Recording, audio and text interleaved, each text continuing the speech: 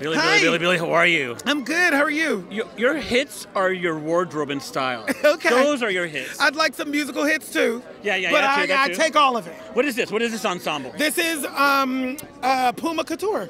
Oh wow. Yes. Is it you sponsor? No, I'm not a sponsor yet, but maybe. Okay. Well, you're. You know, if they act right.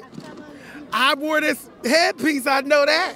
What else going on you? What else? What else can we predict? Uh, I'm working on some new music. I have my new album that's coming out. My single comes out, "Baby Was a Dancer," uh, in March, early March, and the album comes out hopefully in the summer. It's called Black Mona Lisa, and that's sort of what my focus is at the moment. Give me the detail of how what these songs came to be. Um, I sat and I wrote with a bunch of people, and I, you know, and I finally um, told the truth.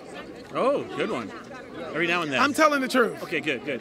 Who tonight are you inspired to like talk to and hang out with?